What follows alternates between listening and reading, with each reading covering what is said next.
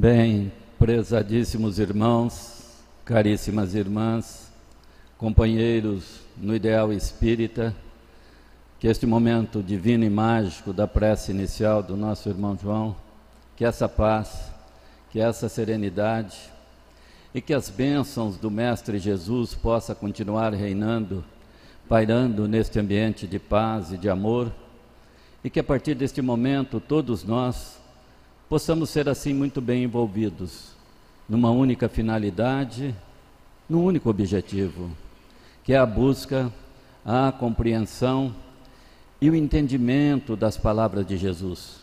Se possível, tudo com base na doutrina espírita, que é hoje um tipo de doutrina que, que já nos permite um melhor entendimento em termos de conhecimento, e tenho certeza que aos poucos começa a despertar dentro de mim, dentro de você, dentro de todos nós, um desejo imenso de podermos tentar diminuir, reduzir as dificuldades e necessidades do nosso próximo. E quando nós fazemos esse comentário da tentativa de tentar diminuir dificuldades e necessidades do nosso próximo, seria muito interessante que nesse momento o nosso pensamento se estendesse até nossos lares, porque é lá que muitas vezes existem pessoas extremamente necessitadas de um pouco mais de apoio, de carinho, de compreensão, de perdão, de sentimento de fé, de esperança. E essas pessoas são aquelas que estão mais próximas de nós, porque são os nossos familiares. Numa entrevista concedida à Rádio Boa Nova, perguntaram assim a Chico Xavier: Chico, qual a melhor religião que existe? Chico pensou, pensou, e como existe tantas e tantas religiões no mundo, Chico respondeu: Sabe que eu não sei? Eu não sei se a melhor religião é a A ou é a B. Mas eu te diria que a melhor religião é aquela onde você vai e você se sente bem. Portanto, meu caríssimo irmão, irmã, neste momento olhe bem, bem dentro do fundo do seu coração.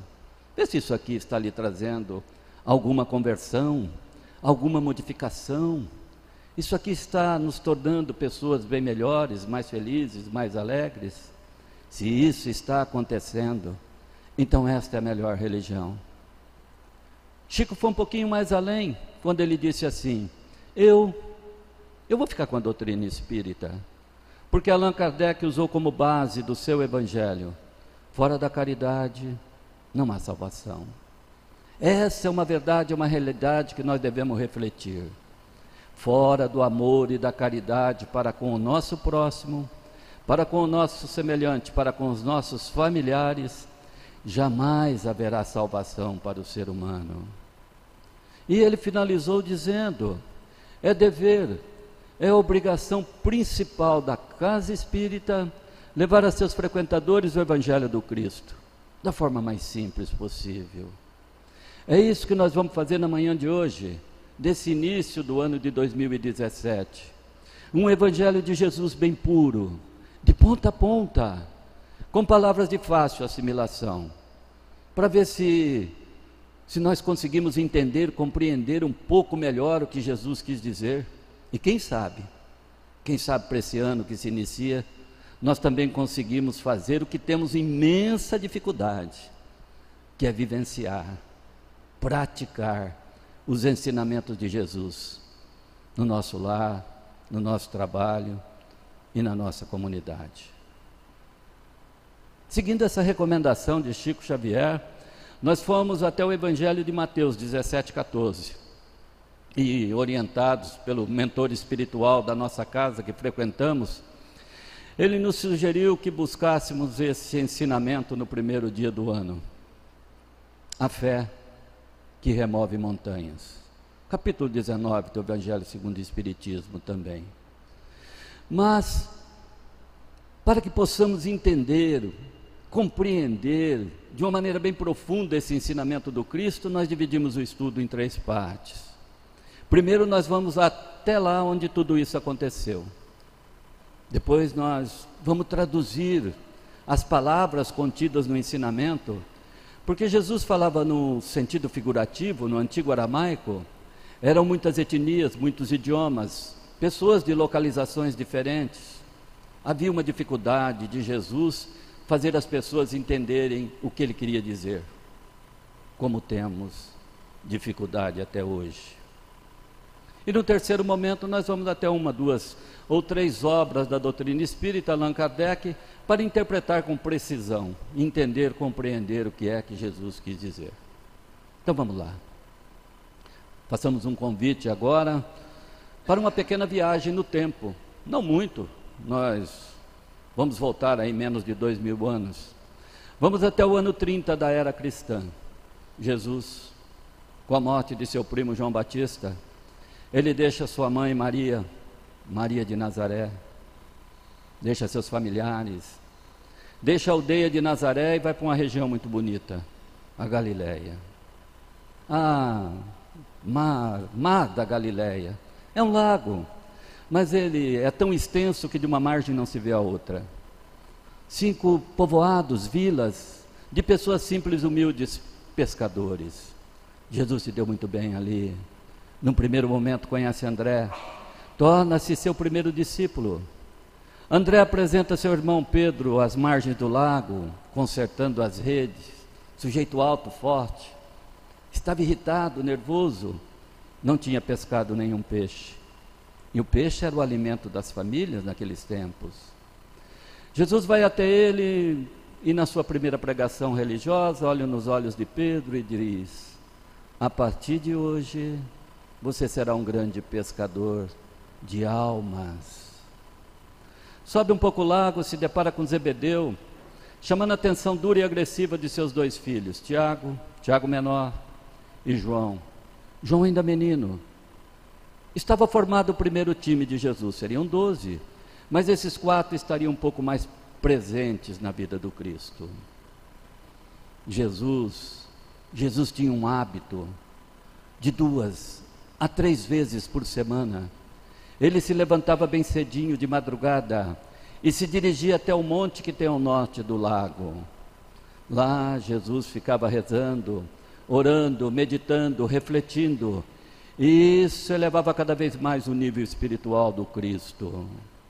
Aliás, desse hábito de Jesus, alguns livros da doutrina espírita nos trazem a, a recomendação de que quem conseguir, quem conseguir, no primeiro minuto da manhã, quando se acorda, mas tem que ser no primeiro minuto, quando se acorda, Pode ser na penumbra do quarto, no fundo do quintal ou na sacada do apartamento.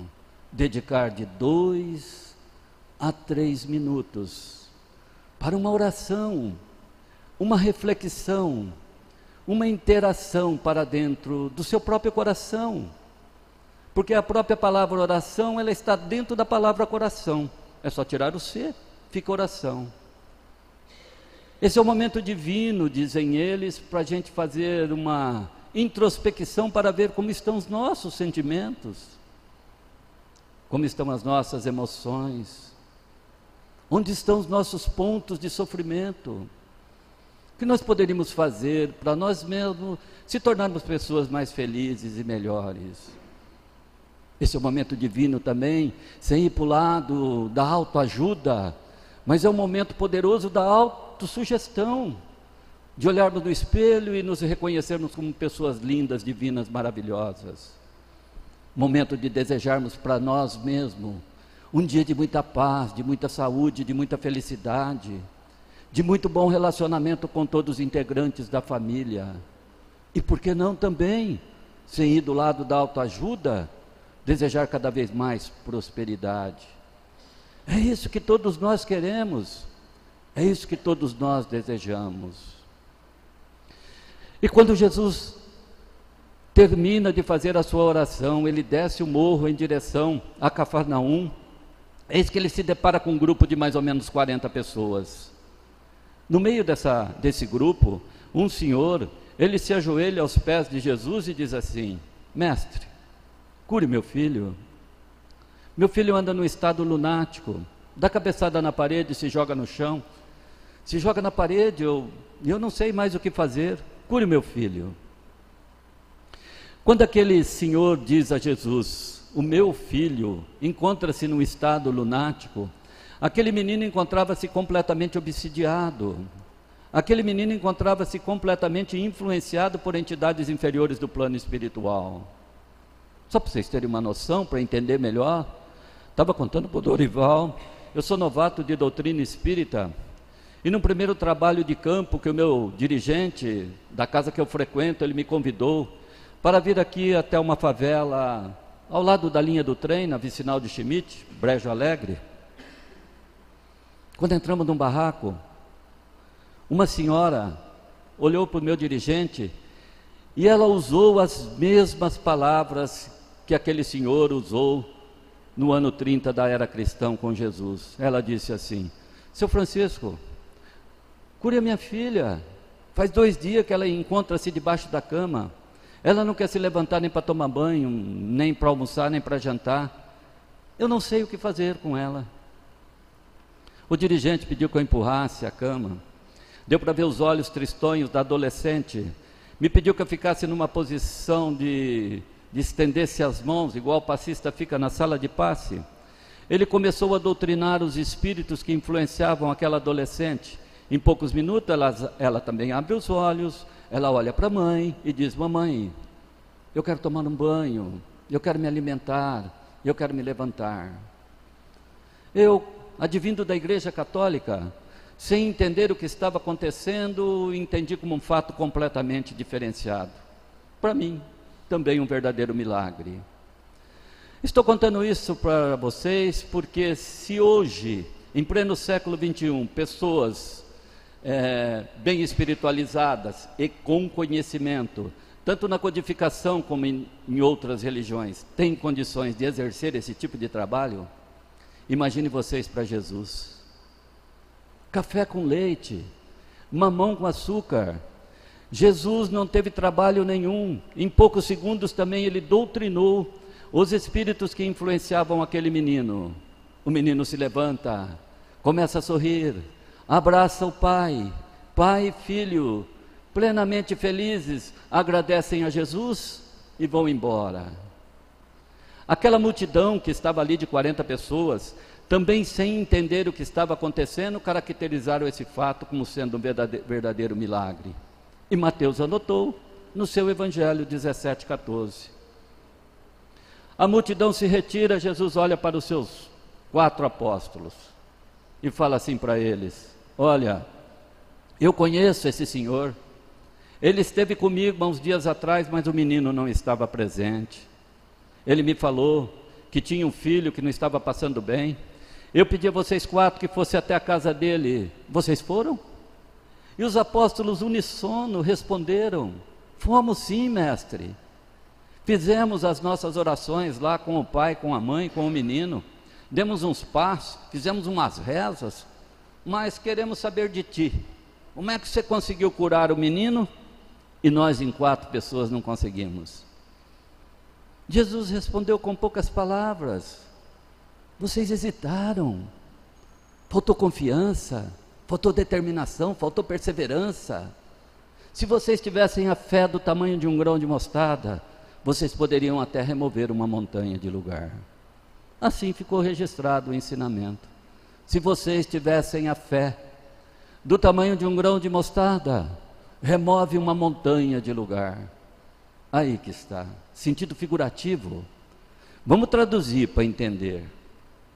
A palavra fé ela vem do latim fides, que quer dizer compromisso, fidelidade. Mais ou menos assim. Se qualquer um de nós hoje, porventura, nesse primeiro dia do ano, tenhamos na nossa mente uma ideia, um projeto, um desejo, uma vontade, algo que queremos realizar para progredir na nossa vida, e nós abraçarmos esse desejo, essa vontade, esse projeto, isso que nós estamos pensando, imaginando, com compromisso e finalidade de que vamos realmente conseguir realizar 80 a 90% de possibilidade de isso se tornar um sucesso. A fé também quer dizer crer, na nossa linguagem popular, no nosso Aurélio, acreditar. Mais ou menos assim, se porventura nesse início de ano todos nós estamos com uma dificuldade, um problema, uma adversidade, muito, que está comprometendo, comprometendo a nossa felicidade, a nossa vida, mas se surgir uma ideia, surgir um caminho, trocarmos uma ideia em qualquer lugar que nós estamos frequentando e nós abraçarmos essa ideia, esse caminho, e com determinação, com vontade, com perseverança, acreditando, nós também temos condições de reverter essa dificuldade de 80% a 90%. Então, fé quer dizer isso: crer, acreditar, compromisso. Mas vejam bem do jeito que Jesus colocou: a fé do tamanho de um grão de mostarda.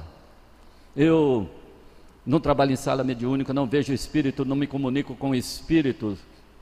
Meu campo de, na doutrina é outro, mas acredito que Jesus, lá no, no ano 30 da era cristã, ele já previa com toda a sua inteligência que nós teríamos dificuldade de colocar em prática os seus ensinamentos, mesmo passado tantos anos.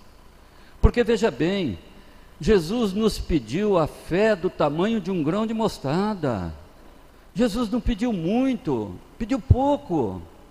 Grão de mostarda é isso que você está imaginando mesmo. É aquele condimento amarelo que quando você vai comer um cachorro quente, ele te sugere maionese, mostarda ou ketchup. É aquilo lá mesmo. Mas antes de ser transformado, grão de mostarda é muito pequeno. Pequeno quem tem um pouco mais de idade moeu a pimenta do do reino, o grão de mostarda é semelhante a um grão de pimenta do reino. Então Jesus não pediu muito. Porque, com toda a sua inteligência, Jesus poderia ter dito assim aos seus apóstolos: se vocês tivessem a fé do tamanho de um elefante, ou se vocês tivessem a fé do tamanho de um dinossauro. Não, ele pediu pouca fé, não pediu muito. Então, com um pouquinho de fé, nós conseguimos remover a montanha de lugar. Ora, remover uma montanha de lugar, o que, que é que Jesus quis dizer com isso? Então, se eu sou dotado de um pouco de fé, eu desenvolvo isso dentro de mim. Eu pego meu carro, vou a São Paulo, e quando eu passo por São Carlos, eu tenho um pouco de fé e eu empurro aquela montanha de lugar. Ou chegando na capital, eu empurro a montanha que divide a capital São Paulo do litoral. Não, quando Jesus fala em remover montanhas, montanha ele quer dizer obstáculos, dificuldades, problemas da nossa vida, adversidades. Kardec bate forte, hein? Kardec bate forte no capítulo 19. Ele fala também que com um pouco de fé nós podemos remover dentro de nós má vontade, é, má vontade, conformismo, ele bate forte. Tem muitas vezes que não buscamos, não conseguimos o que desejamos devido à má vontade, ao conformismo. E ele também nos sugere que com um pouco de fé nós podemos também remover até doenças do nosso corpo físico. Vários médicos já são unânimes em afirmar que toda pessoa que tem uma proximidade maior dos ensinamentos do Cristo esteja passando por qualquer tipo de problema físico, de alguma doença, essa pessoa tem muito mais facilidade de administrar, de superar o seu problema físico do que aquele que está muito mais distante do Cristo.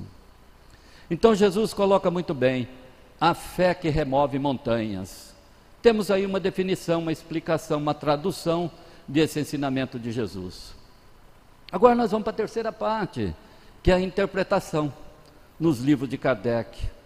Você poderia até se perguntar: ora, eu eu, eu quero saber onde está essa fé, o que, que é fé, essa força, como que eu faço para usar isso, aonde está isso, como desenvolvo isso dentro de mim, como aplicar, como colocar isso em prática. Allan Kardec nos diz que no capítulo 19 que a fé se divide em três partes. Primeiro é o chamada de fé cega, que ele pede para descartarmos. Fé cega é aquela, por exemplo, pastor Jim Jones, dos Estados Unidos, em 1973, sugeriu aos seus fiéis que ingerissem veneno.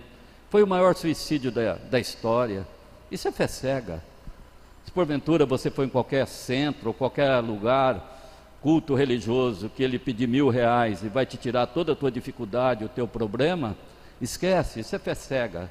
Kardec pede para descartar. A outra é a fé inata, a pessoa já nasce com ela. São poucos que têm esse poder. Conta-se nos dedos as pessoas que nascem com a fé inata, com essa força. A terceira é aquela que nós vamos ficar com ela, que é a fé raciocinada, que é a fé com base na razão, que é a fé com base na lógica. É essa que nós vamos ver. É essa que nós vamos estudar. Allan Kardec nos diz que essa força existe dentro de nós. E se nesse momento todos nós olhássemos bem dentro do, do íntimo mais íntimo, nós iríamos poder observar o divino sagrado se expressando, falando dentro de nós. O que devemos fazer, de que jeito fazer. A bem da verdade, essa crença em Deus que Allan Kardec nos sugere para devolver, para nos, nos trazer essa fé dentro de nós, crença em Deus e crença em nós mesmos, nós temos que entender que Deus não é um rei que penaliza os seus súditos. Não. Deus é um parceiro estratégico. Deus é um verdadeiro consultor que caminha do nosso lado. Nós somos parte disso. É que nós trazemos dentro de nós uma mítica um mito que vem de geração em geração de que Deus, Deus é um é um velhinho muito bem vestido, é um velhinho de barba branca, de cabelo branco, é um velhinho que fica sentadinho no canto do universo, com um cajado na mão, olhando os nossos defeitos, olhando os nossos pecados.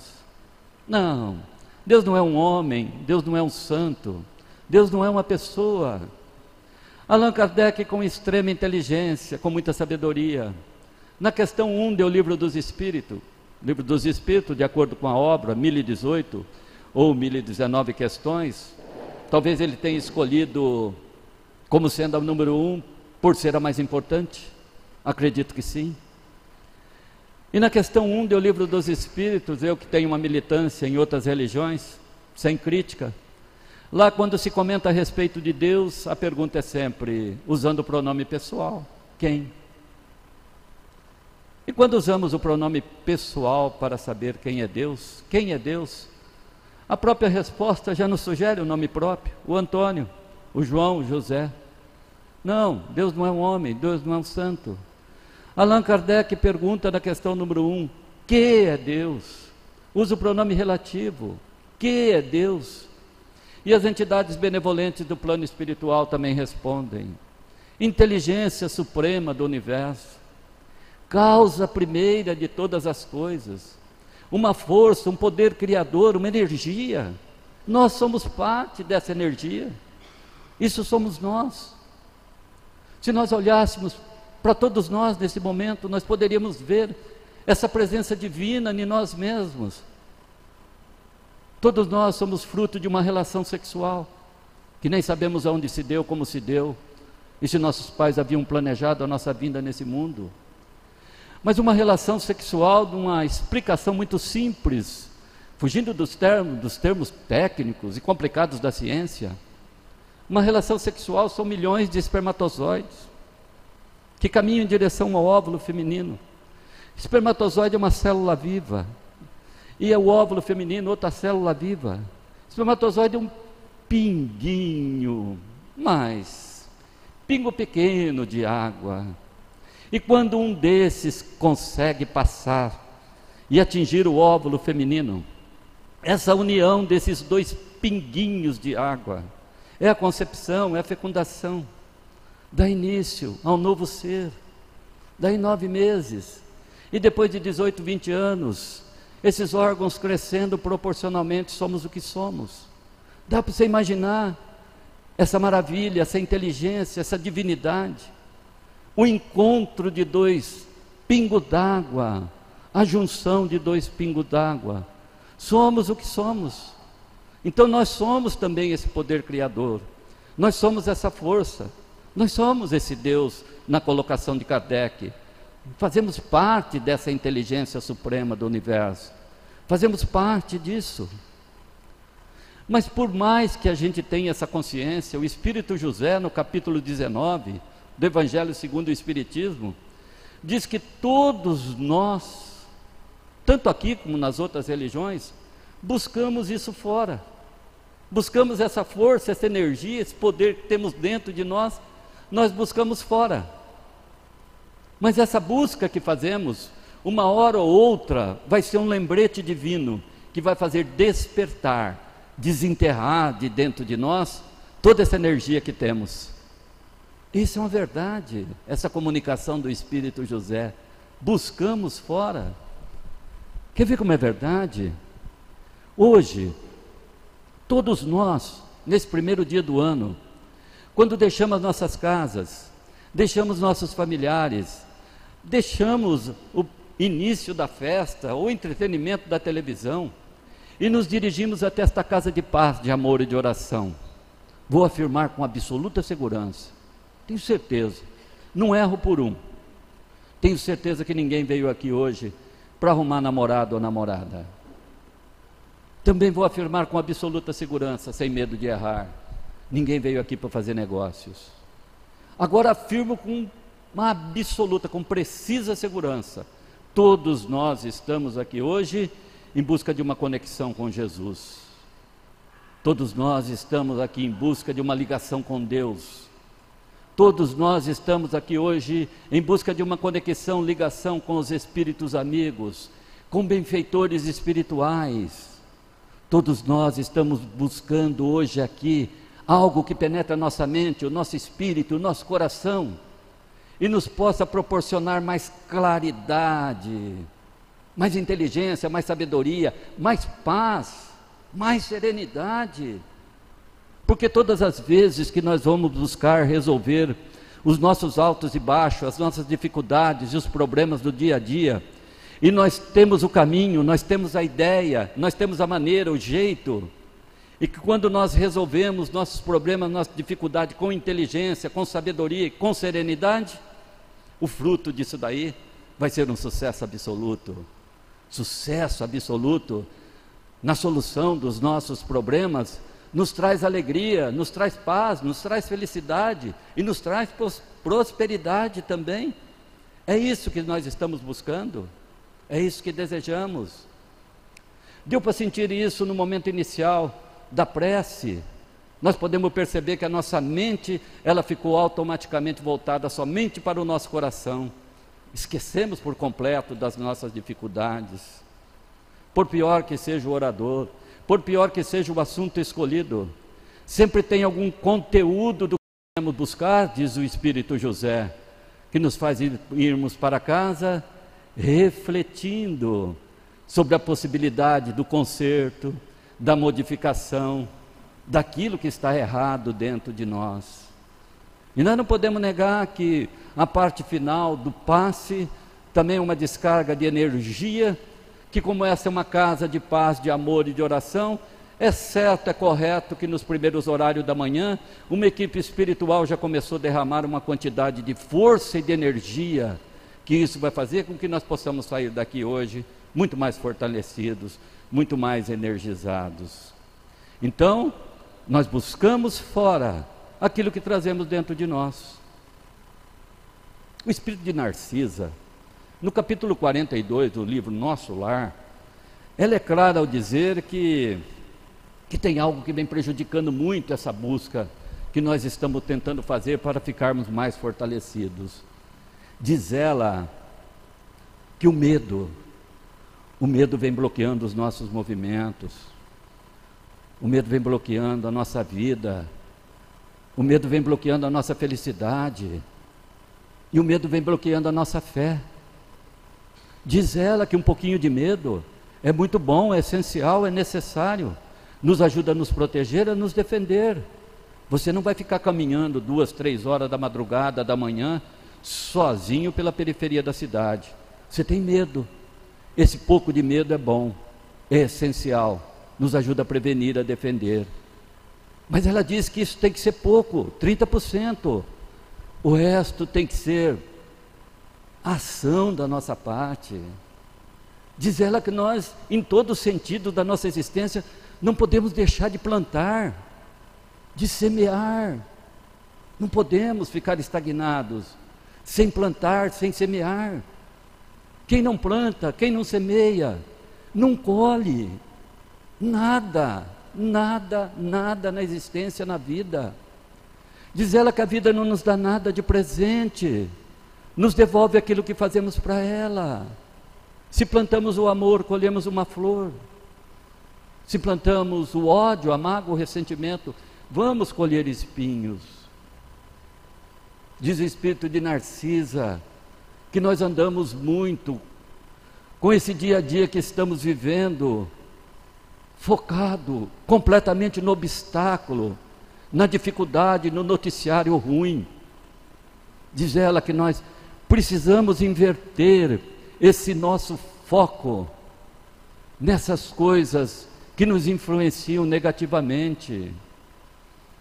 Diz ela que, que quando pintar um, momento de tristeza, um momento de ódio, um momento de revolta dentro de você, um momento de começo, de início de depressão, diz ela, busque uma prece, busque a oração.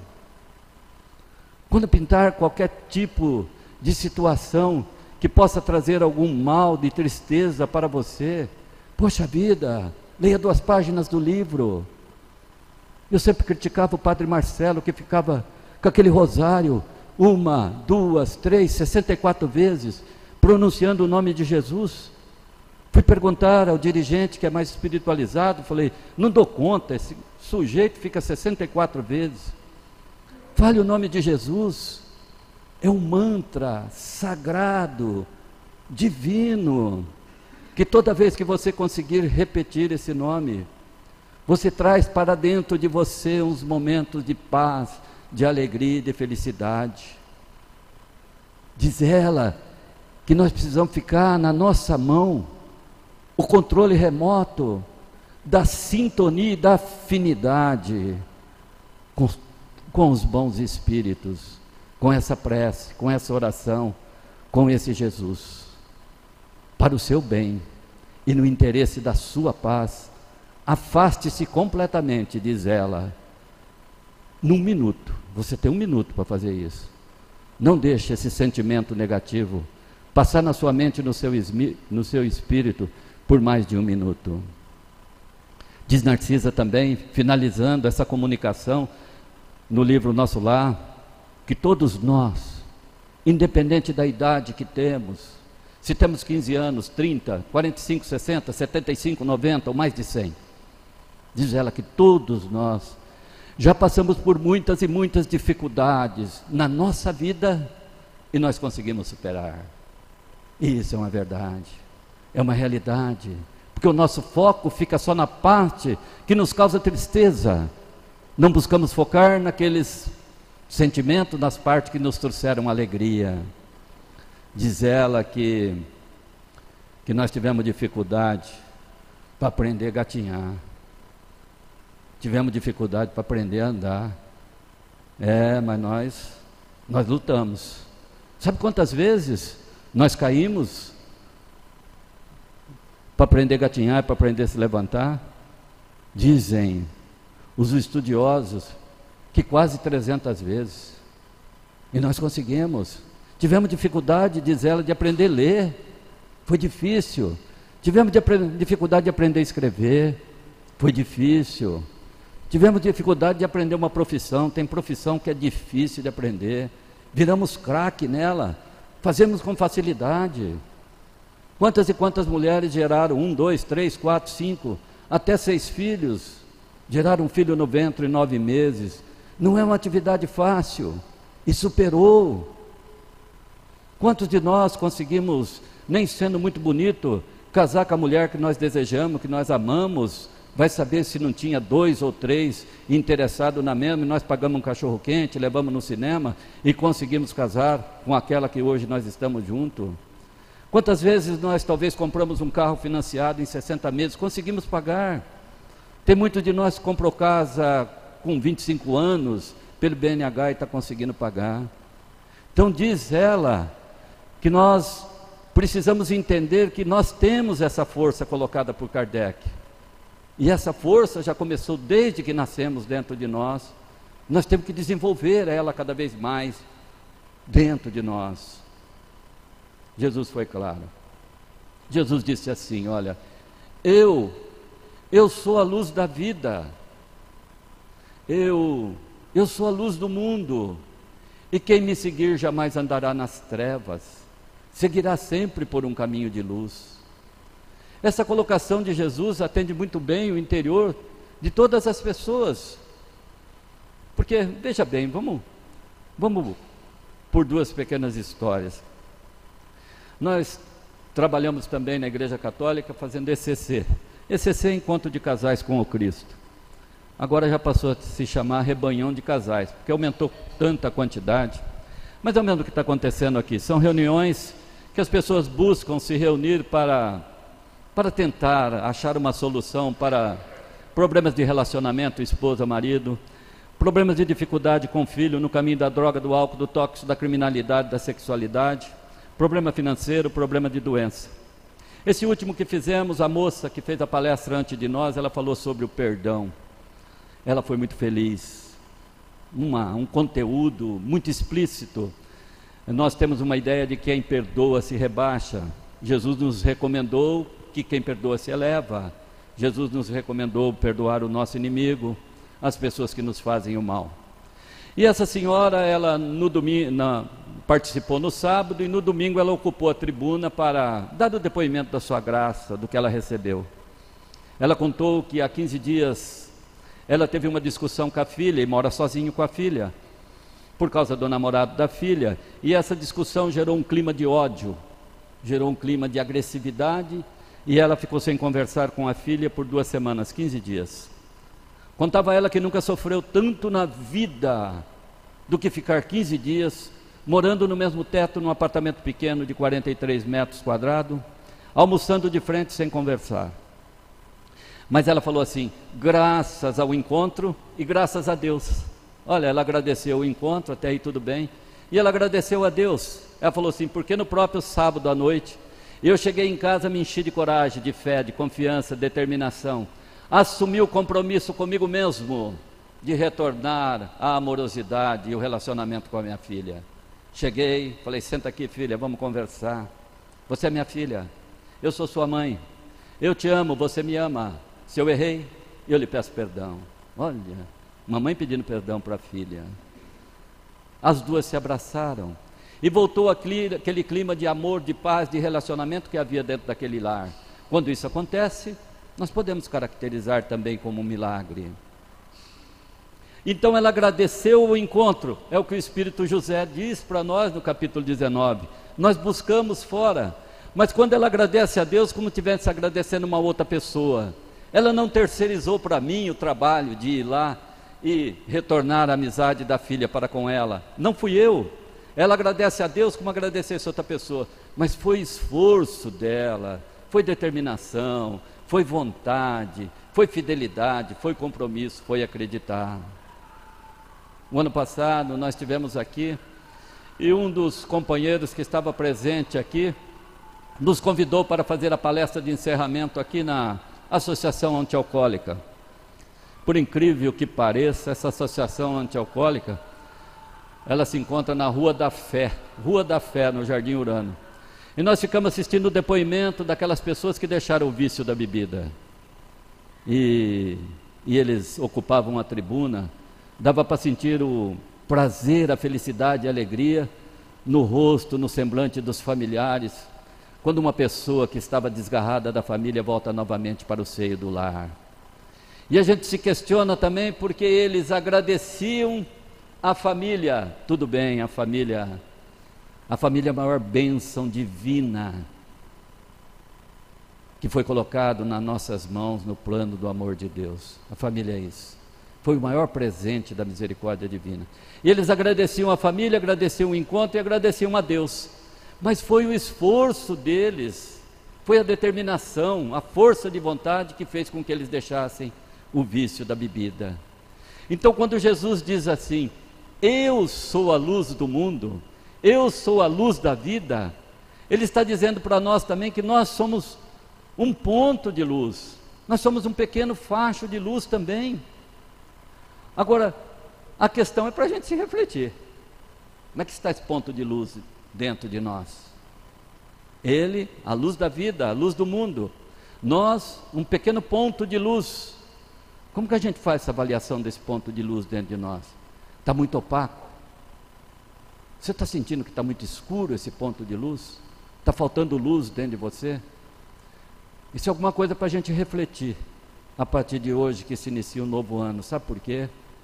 É provável que todos nós já passamos pela experiência da falta de energia em casa no período noturno.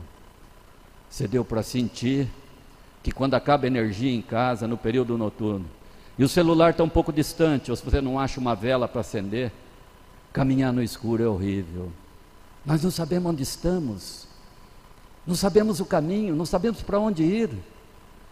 Então, por isso, essa colocação de Jesus: quem me seguir, seguirá por um caminho de luz. Mas cuidado, porque o caminho das trevas é terrível, sem contar a outras trevas. Estamos falando apenas da escuridão física. Quando Jesus estava indo para Jerusalém, ele parou em Jericó. Jericó é a cidade mais antiga do mundo. Quando no outro dia de manhã ele deixa a cidade de Jericó em direção a Jerusalém, quando ele atravessa os portões da cidade, no portão de, de Jericó existia um cego chamado Bartimeu, filho de Alfeu. Bartimeu era cego, mas não era surdo. Quando ele, quando a multidão, Jesus deixa Jericó, ele ouve o barulho e pergunta para os seus amigos: O que está acontecendo? Aí os amigos dizem assim: É Jesus. Ele já tinha ouvido falar de Jesus, Bartimeu, cego. Então ele grita: Jesus, filho de Davi, tem de piedade de mim. Mas os amigos, os amigos dizem a ele: fica quieto, ele já está longe, deixa ele embora, já passou. É, mas ele não se entregou, não. Ele não se entregou. Ele gritou um pouco mais alto: Jesus, filho de Davi, tem de piedade de mim. E os companheiros voltaram a dizer para ele: Fica quieto, ele já foi embora, deixa disso, tá bom para você. Esse é onde Kardec bate forte. Se conforma com o que você, da maneira que você está. Olha o que os amigos falou para ele. Tá bom para você? Você está na porta de Jericó pedindo esmola? Jericó só tinha pessoas ricas ali, tinha uma muralha enorme. Seria um tipo de um condomínio hoje, em São José do Rio Preto. Então o pessoal falou: se conforma, tá bom para você. Kardec bate forte no início remove montanhas, má vontade, conformismo. Mas Bartimeu não se entregou, não. Aí ele gritou muito mais alto: Jesus, filho de Davi, tem de piedade de mim. Jesus ouviu, chamou o apóstolo Pedro e falou: Traz essa, essa pessoa aqui. Quando Bartimeu chegou na frente de Jesus, olho nos olhos, Jesus disse a ele: Que queres de mim?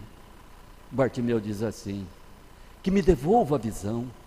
Olha a interpretação do Evangelho, do jeito que foi colocado pelo apóstolo Marcos, pelo apóstolo não, pelo evangelista Marcos. Olha, que me devolva a visão. Isso nos dava a entender que Bartimeu não nasceu cego, ele ficou cego. Então Jesus disse assim: Estás curado, mas cuidado para não pecar mais, me siga. Mas não seguir Jesus aonde ele fosse, não. Seguir os seus ensinamentos. O apóstolo Pedro, que não era muito letrado, ele contesta Jesus e Jesus diz assim, explicando: Pedro, a pior cegueira que existe não é a cegueira física, é a cegueira espiritual.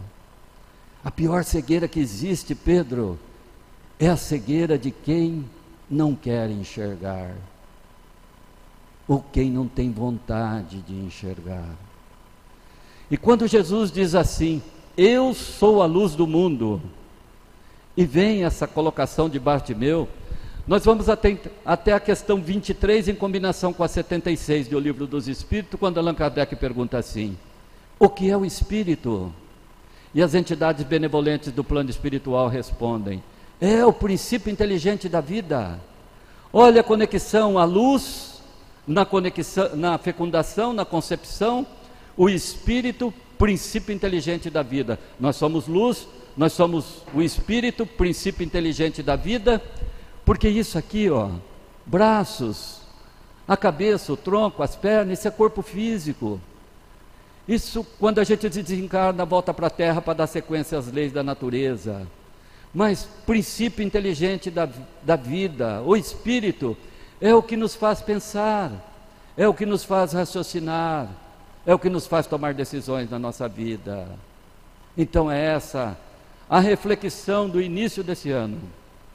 Fazer com que nosso espírito tenha cada vez mais luz, para que o nosso caminho seja mais iluminado em todos os sentidos. E fazer com que o nosso espírito fique cada vez mais fortalecido, para que a gente possa trabalhar as nossas dificuldades e, começar a entender realmente o verdadeiro significado da vida. Porque Allan Kardec, ele fecha faz o fechamento do livro A Gênese dizendo assim: toda busca, toda busca em direção a algo que nós desejamos, a projeto, a sonhos, ou toda, toda cura que nós desejamos dos nossos relacionamentos em família ou de dor que sentimos no corpo físico, toda busca e toda cura é um processo de autobusca e autocura, diz Kardec. Ou seja, tem que haver a participação de 50% da nossa parte, senão não acontece. Ele acrescenta dizendo que precisa haver receptividade. Nessas três colocações dessa senhora que voltou o relacionamento com a filha, desses 15 que deixaram o vício da bebida, e de Bartimeu na estrada de Jericó, houve receptividade da parte deles. Eles não buscaram isso como se um acontecimento fosse milagre externo, mas a busca interna do esforço, da dedicação, da perseverança. É isso que talvez nós temos que começar a trabalhar dentro de nós, a esperança, o otimismo e nos envolver com as pessoas que estamos envolvidos, familiares, colegas de trabalhos, pessoas da nossa comunidade, a partir desse ano de 2017, começar a passar também para eles esse projeto de esperança, esse projeto de paz, de alegria, de felicidade. Allan Kardec fecha dizendo assim: seria muito interessante para todos nós, seria muito gratificante a gente poder refletir um pouco sobre isso. Nós vamos perceber que nós somos muito mais que corpo físico. Nós vamos perceber que nós podemos muito mais. Nós vamos perceber que nós sabemos muito mais. E tem uma vantagem enorme: nós não dependemos de ninguém para isso, nós não precisamos pagar ninguém para isso, é esforço próprio, é de graça. Allan Kardec finaliza no capítulo 19 dizendo assim: E eu repito, como se que, como dado a, a importância do ensinamento, ele, ele quisesse dizer assim, tem que falar isso duas vezes. Ele diz: Eu repito, se todos nós, os encarnados, tivéssemos mais consciência, tivéssemos mais conhecimento dessa força, dessa energia, desse poder criador que trazemos dentro de nós. E se usássemos esse poder criador, essa força, essa energia, a nosso benefício, para atingir os nossos desejos, nossos sonhos, nossos projetos, nós também poderíamos fazer o que no Evangelho ficou registrado como milagre, mas que nada mais é do que lutar, se esforçar para desenvolver essas próprias faculdades que trazemos dentro de nós. Então, nesse ano, nesse primeiro dia, nesse ano de 2017 que se inicia, desejamos a todos que possamos estar mais com Jesus, que possamos olhar mais para Jesus e que, quem sabe, no decorrer desse ano todo, possamos ter ao nosso lado essa força, esse poder criador, essa energia, essa imagem divina do Cristo Jesus como sendo a nossa principal companhia. Tenho certeza que assim vai ser, assim será e que assim seja.